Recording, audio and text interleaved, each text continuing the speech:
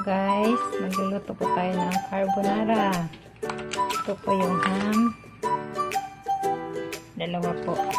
Tapos ito yung ah, mushroom. Tagal. Sibuyas. Gatas. Fresh milk. And then, yung parang Indian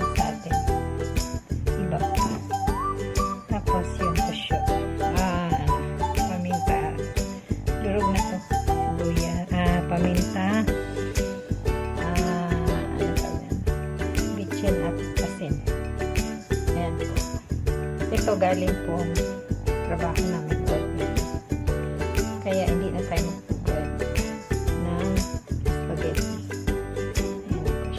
Igigisa na natin yung sibuyas.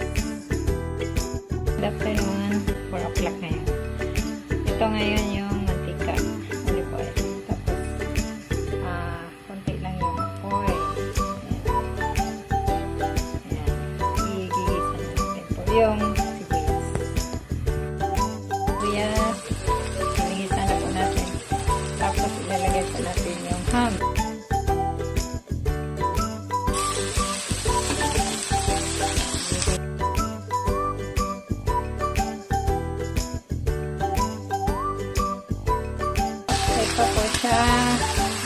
Po natin yung mushroom.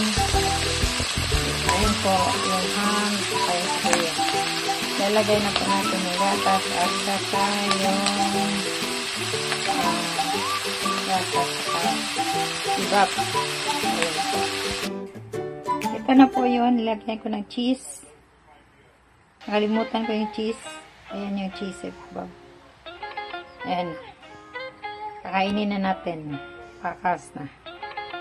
So, luto na po siya, yung carbonara. Ito na po yun. Titikman na po natin.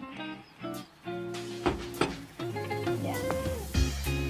Tikman ko siya kung okay na.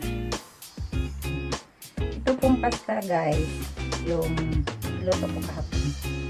Um, hindi mo na po kailangan i-weld yung ano, yung pasta kasi galing sa ah, work namin. Ang gagawin mo na lang, um, magpakulo ka, tapos, um, magpakulo ka ng tubig, tapos lagyan mo asin at antika, at ilagay mo yung spaghetti. Yun lang. Yun lang po ang gagawin mo. Kasi, yung sa akin, hindi ko na po pinakulo. Inano ko na po, halo-halo ko na po. Kasi galing po siya sa work namin. Ayan po. Like, share, and subscribe.